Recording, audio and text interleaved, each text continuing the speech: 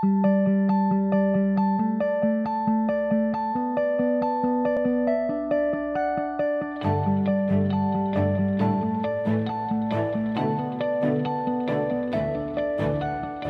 always trying to create new momentum, rethink what we're doing. How do we deliver healthcare better? How do we create healthy communities better? And there's no better place in the country than this one. We think outside the box with dealing with advanced systems, new technologies, new ways of doing it, getting out of the box. I'm incredibly grateful for what we have here in Washington State and that really we have an opportunity to be a role model nationally for what can be accomplished around the ACA and innovating in terms of healthcare reform.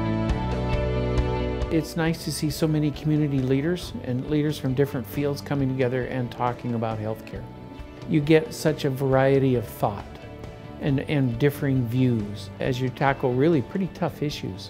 When we think about how we're going to really transform and change healthcare, it is more about how do we think about the entire experience that people enter into. We need to be aware of the changing times and think about how we're going to do things differently and how we did things in the past may not be the way that we're going to do in the future.